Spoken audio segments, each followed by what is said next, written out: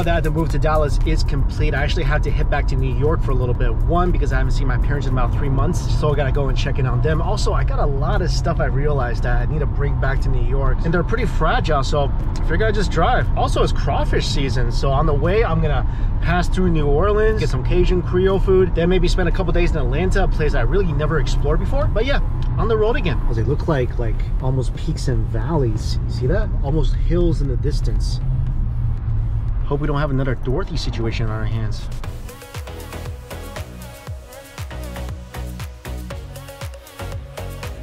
First stop, Lafayette, Louisiana. And I do want to say, these are some very Louisiana looking trees. Just placed my order. It's gonna be a little bit. So while we're waiting for the food, just a huge shout out to Raycon earbuds for sponsoring this video. I showed you guys in one of my previous videos, my previous pair of earbuds were more than two times the price of this. The case was bulky and I would drop them all the time because it didn't have the little magnetic thing that attaches it to the case. And these ones, look at this, never falls out. Also, my ears are shaped really weirdly. So a lot of times earbuds just kind of fall out when I'm moving around. But these, I wear these every day when I'm working out, when I'm running, fits perfectly. And I like the compact case. I love the color blue. You see me wearing blue shirts all the time. I think it's a complementary color. So once I tried these out, they've been the only pair I've been using ever since. If you don't know, Raycon was co-founded by Ray J, and they set out to provide innovative earbud designs that didn't break the bank, and that's these right here. And these are the everyday E25s. They connect seamlessly. They give you six hours of playtime. Also, other celebrities like Snoop Dogg, Brandy, Mike Tyson, my colleagues, if you will. Oh, oops.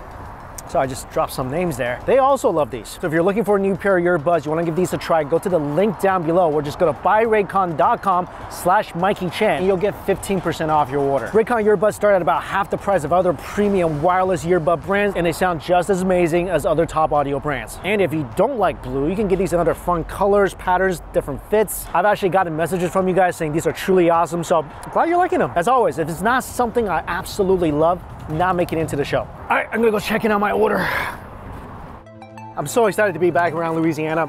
People always said if I want really good Cajun food, I gotta come to Lafayette. And if you don't know, there is a difference between Cajun food and Creole food. And the most basic difference is that Creole food is, is more fancy, is more city, and Cajun food is more country, is home cooking. There's no tomato base that goes with it. I got a crawfish etouffee. This is one of the most popular dishes in Cajun and Creole cooking. And they give me on the side some jalapeno grits. And then I got oh, some, some garlic bread. That's always nice. And this, when you're in Louisiana, you gotta eat some gator. So fried gator and some ice cream to go with my uh, bread pudding. I tried this the last time I was in New Orleans. This dish is basically crawfish tails. It's cooked in gravy with rice sitting on top of it.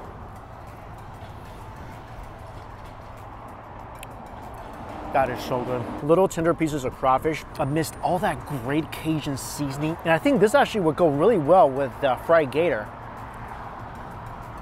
which pretty much tastes like chicken. If you wouldn't tell me that's gator, I would tell you it's chicken nuggets.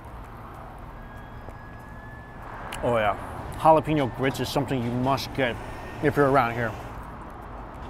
I love how the flavor intensifies as you chew. I'm trying to speed through these dishes because I got this ice cream that's gonna be melting soon that I need to put over my bread pudding. Otherwise, I will never forgive myself. I love how tender the crawfish is. Also, I would highly recommend the fried gator. That and the crawfish, I don't know which one's more tender. I mean, gators give off a pretty tough image, but in reality, at least in this case, soft and tender. Mm, gotta get to my bread pudding before this ice cream melts. First of all, this is a giant piece of bread pudding. They definitely do not skimp on portions in the South. Hello, look at that scoop of ice cream. This is definitely the biggest piece of bread pudding I've ever had in my life. and it's one of the best. Again, bread pudding is not something I eat all the time, but Lord, this is good. You taste the sweet cinnamon. Just dancing in perfect harmony with that vanilla ice cream. And for me, bread pudding is all about the texture. It can't be too soft for me. I want it to have some chew. And this thing 100% delivers. The crust is nice because the texture is a little different, And when I opened this, you know, I saw how big it was. I'm like, yo, if this doesn't taste good, this is gonna be really hard to go down. But just the most perfect texture with crust on the top and the bottom, just giving off a slightly different bit of texture. And that vanilla ice cream just elevates something that's already so incredibly scrumptiously good to even new levels of yum. I can't believe I'm almost done with this. I've been sitting here pretty much enjoying every bite of this. Then you look down, it's almost gone. Time flies when you're having fun. Uh, uh, seatbelt feels a little tight already, which might not be a great thing because uh, down the street from here, I don't know if it still exists, but the last Popeyes buffet all you can eat Popeyes buffet used to be there before, you know, the whole COVID situation forced it to shut down. So uh, I've tried calling them. I couldn't get anyone on the phone. So I'm actually going to drive down the street. I can see it right now to that Popeyes and see if the last Popeyes buffet is still alive and well. There it is.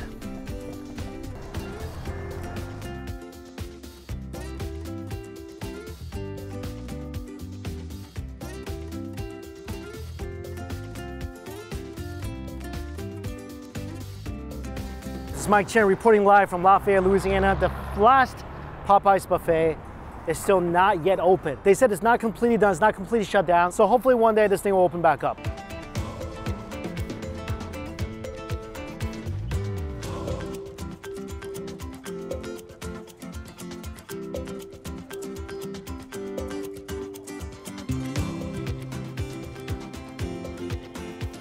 Thank you.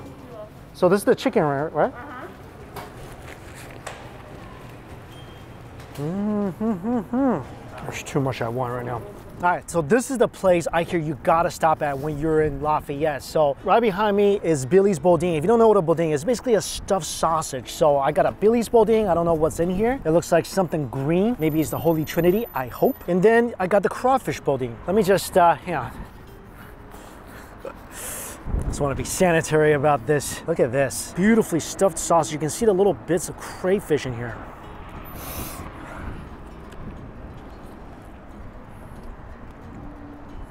This is so freaking good. It tastes like a jambalaya stuffed inside a pork casing.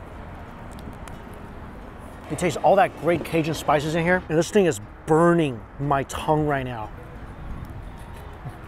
Inside, delicious sauce-covered rice, and again, you can see the bits of crawfish all wrapped in such a snappy casing put that on your must try list. Wow, my mouth is on fire. I love it. It's not just like burning, it's just so happy because there's so much seasoning and spices in there. And this is the Billy Boudin. I don't know what's in here. Mmm. Seriously, you pass by Lafayette, you don't get one of these, it's like you never been here. I love these so much. I think it has some liver in here, strands of meat. I definitely taste some celery, so maybe the Holy Trinity is in here. One of the best things I've had in Louisiana. Oh. So this is the crackling. You can see how red it is on the outside. They do not mess around when it comes to spices here in Louisiana. Oh. So I wasn't gonna get this. The lady behind the counter, she, she basically was like, just try one, try one, try one. I try one, had to order a bag right away. But check this out. This is a Boudin ball. I think this is chicken, but it's a baseball-sized piece of what looks like crackling, but I'm sure there's stuff inside. it. Oh my God. Inside there's rice, there's celery, there are pieces of ground meat, all stuffed inside this crispy, delicious, fried outer shell. How could I have not known something like this existed? Can see here, nice blend of fatty and lean meats with the Holy Trinity makes this whole thing angelic. Last thing I got, this is a pepper jack cheese egg roll. Beyond its ultra crispy outer shell, stuffed with cheese and meat. It's cheesy, fatty, crunchy, and every single bite I'm taking of any one of these food items just makes me want to kick myself for not having this last time I was here. This is a cannot miss food item if you're in this part of the country. If you're going to New Orleans, take the two and a half hour drive over here. It's worth it. Mm. Had to go get another two bags of crackling. And what's different about crackling than just fried pork rinds or something is that crackling also has a bit of the fat, bit of the meat with it, which means much more flavor. Oh my God, you gotta get the chicken wings. Covered in chilies. You got a lot of that fat in here too. I got a half pound bag. I don't think it's enough.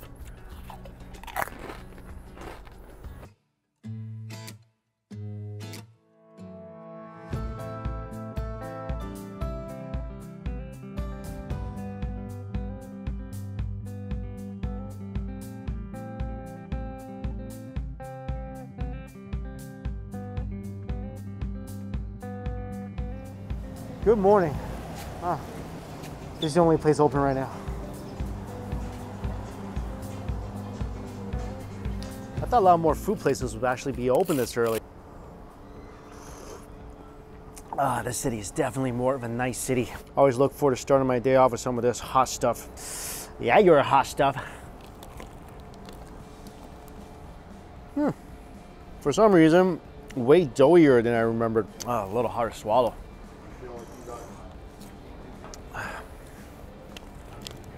Still not bad. Today's my main food day in New Orleans, leaving early tomorrow morning. I got my day planned out, you know, as soon as the restaurant's actually open. We're gonna start off with some crawfish because it's crawfish season. Super excited about that. That's in about four hours. Then definitely some grilled oysters. I'm going to a po' boy place I heard is amazing. And 100% going back for butter shrimp. That's one of my favorite things to eat here. But I'm thinking right now, just eat this and maybe go back and sleep some more because nothing is really open till around 11.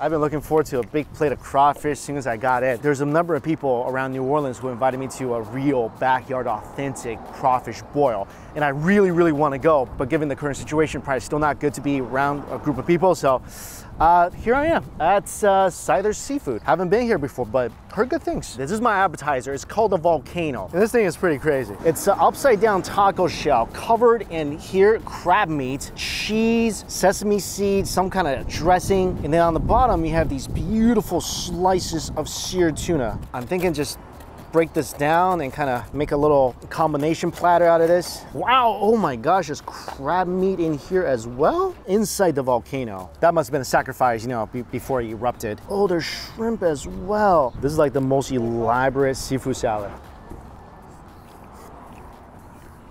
That's pretty good salad. I mean, it's mainly just crab and tuna and shrimp. So a big emphasis on the seafood part of the seafood salad, which I got no problems with. Tuna's good, shrimp is nice and plump. You're definitely getting a lot of seafood with this salad. My crawfish is ready. Of course, you get your crawfish boiled by the pound, so right now it's $4.99 a pound. And to eat this, pretty simple. Twist the tail, comes right off. Suck the head. Oh, that's delicious. Twist the tail, the nasty stuff comes out. You can pretty much just suck the meat out. That's so good. Anytime I'm here, never have a bad crawfish session. I was actually gonna eat uh, crawfish in Lafayette, just didn't have enough time. But these, oh my goodness. Oh, this is a good one, look at it. I always contend, flavor-wise, the head is the best part. Really where all the flavors reside. You see that right in there, that, that yellow stuff? That's the miso.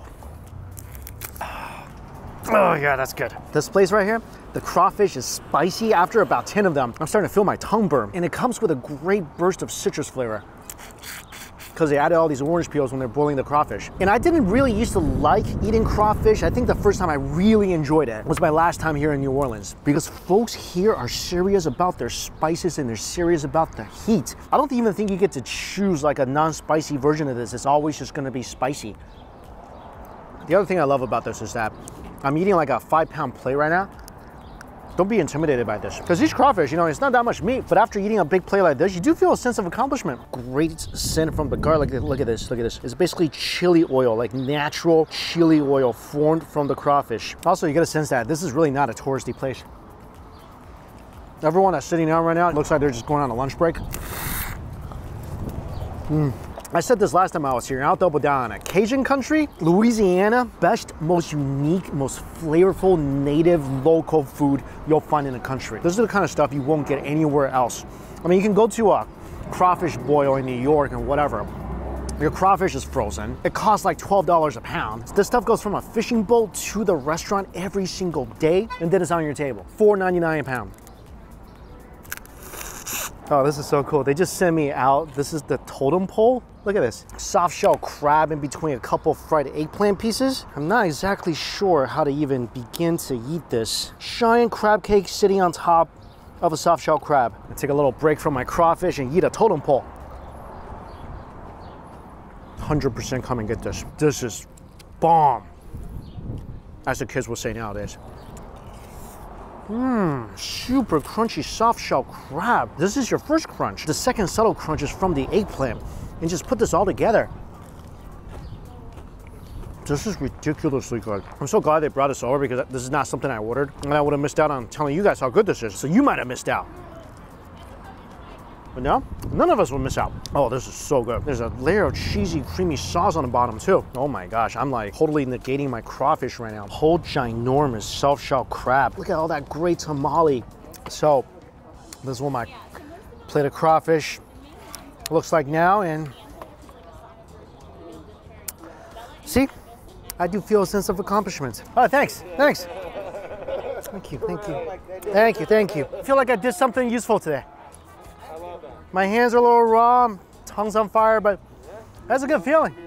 Yeah, feeling good. That's all that matters. It's just surreal to eat that much crawfish and get your check, which is only 20 something dollars. Oh, by the way, if you're gonna do this next time, get something like a poncho. I got crawfish guts all over me. Although, that smell pretty good.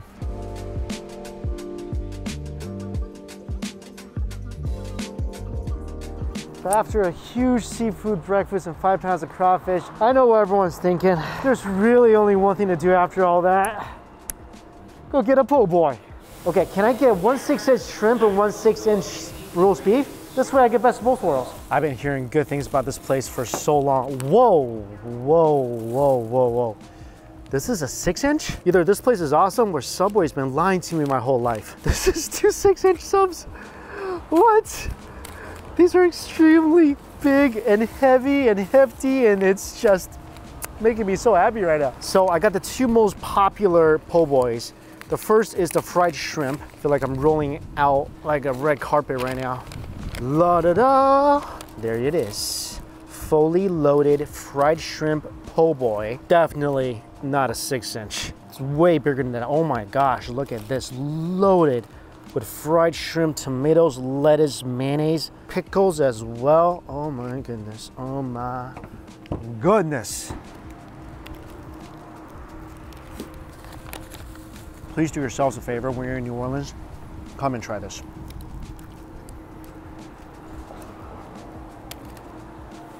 Words won't do this justice. I will try. First of all, this thing is loaded with fried shrimp. You're not just tasting the batter. Look how big and plump and juicy the shrimp is. Mm. Shrimp itself is so juicy, it's seasoned perfectly. Crunchy outer shell, just accented by the sweet tomato, the sour, crunchy pickles, and this bread. Oh my God, this bread. Please come and try this. One bite, I can feel my heart start to race and that's not just because I'm eating fried food. There's real emotions here. I've had a lot of roast beef sandwiches in my life. I'm sure you've had a lot of roast beef sandwiches in your life. Have you seen roast beef this freaking juicy before? Okay, so the bread is just loaded. I mean, they needed a forklift to lift all this meat onto this bread. This is gonna be a messy one.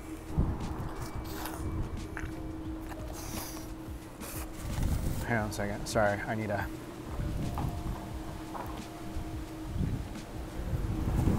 I bit into it. I chewed it. I took multiple bites. I still can't believe how tender that beef is. This is the most fall apart, melt in your mouth, tender cuts of beef, maybe to ever make an appearance inside a roast beef sandwich.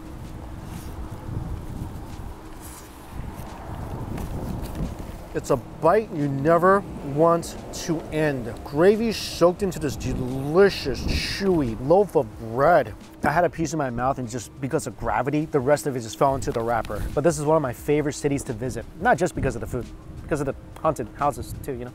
Like everywhere.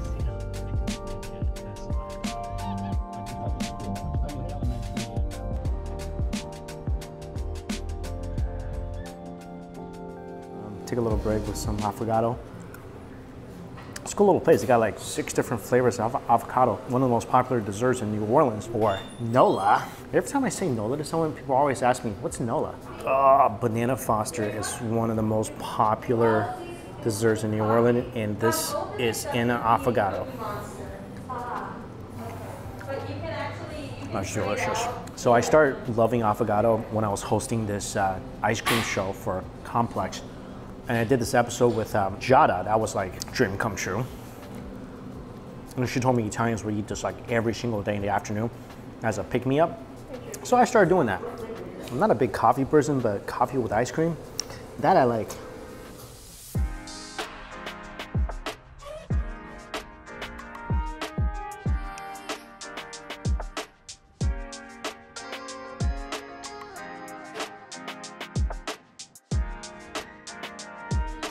So these, hopefully, are the beignets I've been looking for. I just wanna say, first of all, these are flaky and the middle is emptied out and they shoved pralines in there. Powdered sugar, of course, on top. I predict, get ready for some crunch.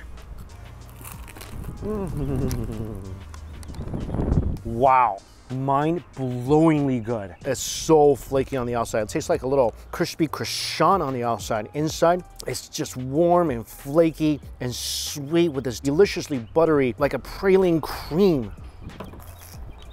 Do yourselves a favor, come here and get these things. It just tastes like a warm, loving hug. So incredibly light. And again, that subtle crunch. Listen, listen, listen, listen. That just tastes like a gentle lullaby. Mmm. Three easily down. And I wish I had some more.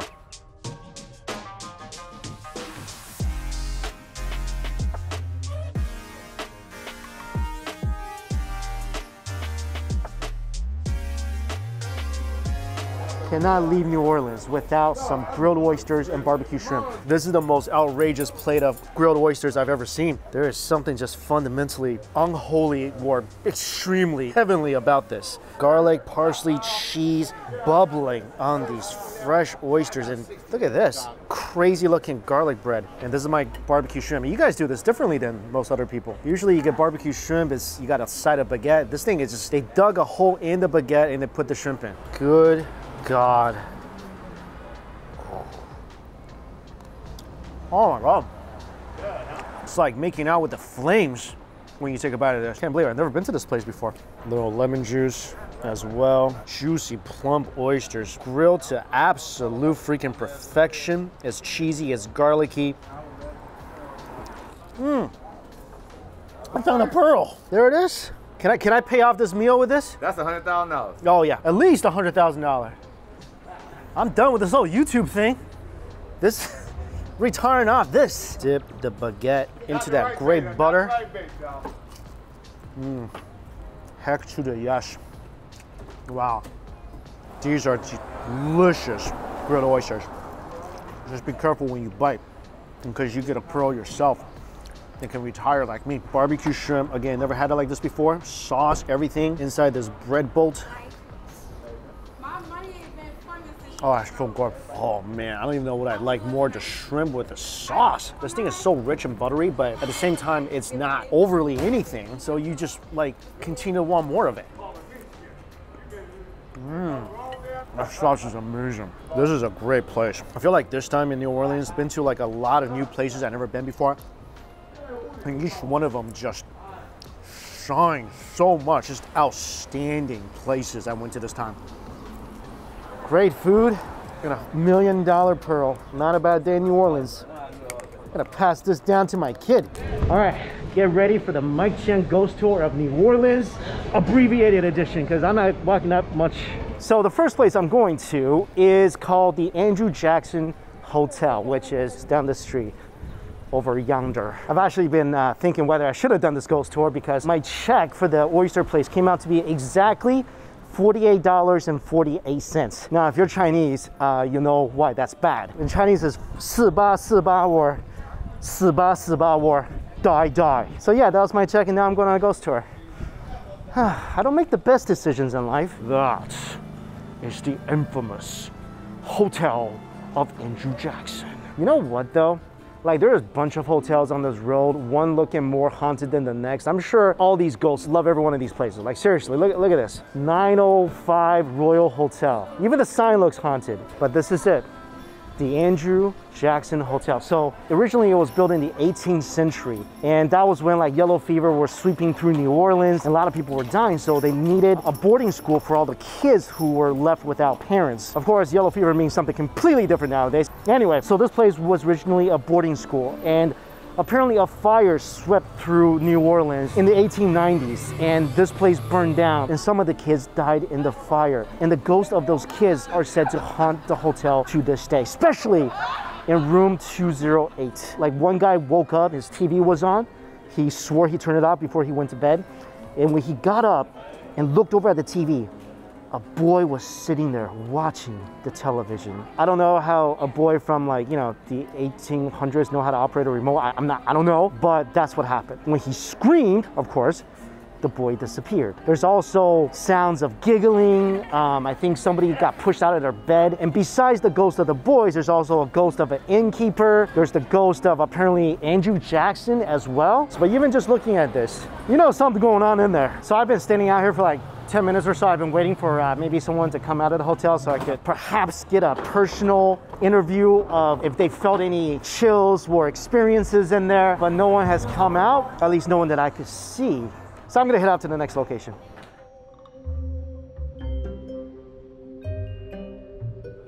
The next place we're going to, oh, right here.